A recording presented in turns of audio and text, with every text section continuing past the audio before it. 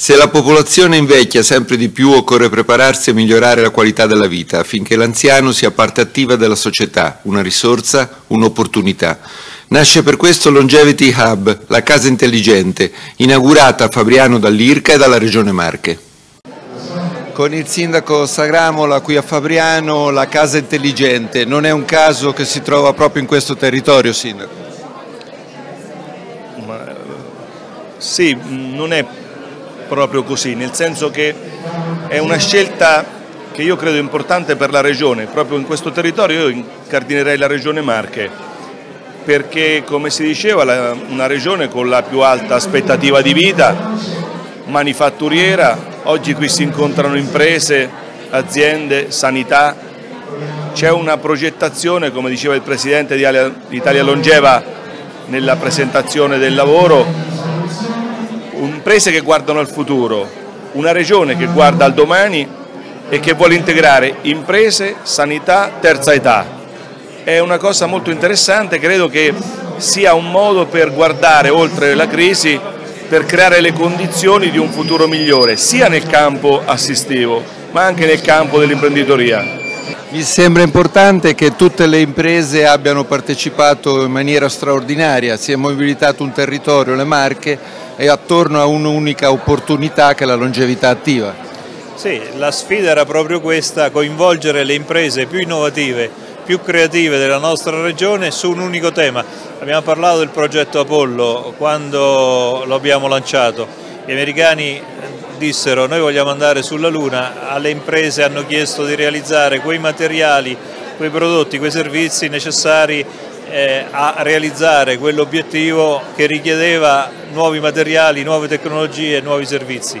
In questo caso noi non vogliamo andare sulla Luna ma semplicemente offrire agli anziani dei prodotti e dei servizi migliori che ancora non esistono. Per questo abbiamo sfidato le imprese e le imprese della nostra regione hanno raccolto questo invito eh, e hanno prodotto quello che oggi vediamo. È un primo passo perché qui siamo alla metà del budget messo loro a disposizione, c'è ancora un'altra un parte che nei prossimi mesi loro continueranno a utilizzare per sviluppare altri prodotti o altri servizi o per far evolvere quelli che oggi vediamo.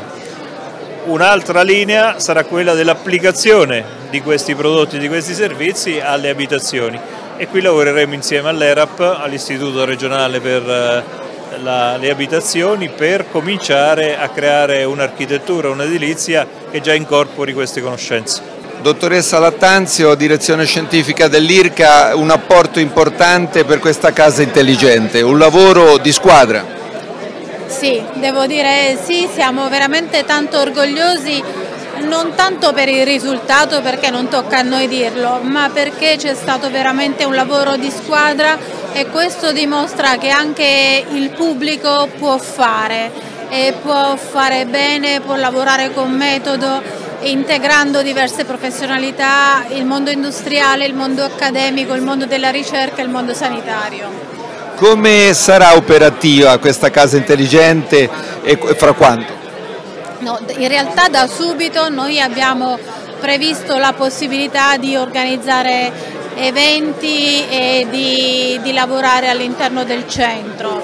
Eh, definiremo soltanto l'operatività in termini di eh, numero di giorni in cui verrà aperto, però lo renderemo certamente attivo da subito anche perché abbiamo creato anche una biblioteca multimediale qui che è l'unica in Italia in questo momento su questi temi, quindi è disponibile su internet, però c'è l'accesso anche qui in locale.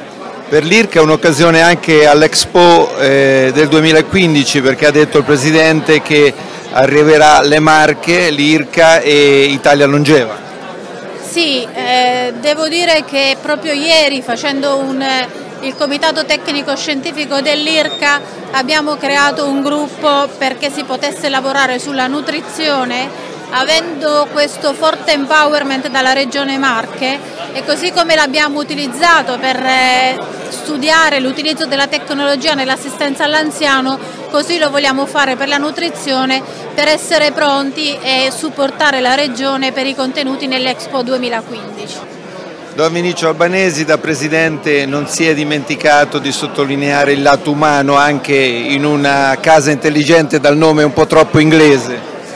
Ma sì, perché la tecnologia è utile perché rende le cose più facili e più accessibili, però non bisogna mai dimenticare le persone con i loro problemi, soprattutto con le loro solitudini, con eh, la storia che hanno vissuto e con tutto il patrimonio materiale ma anche spirituale che ci ha lasciato.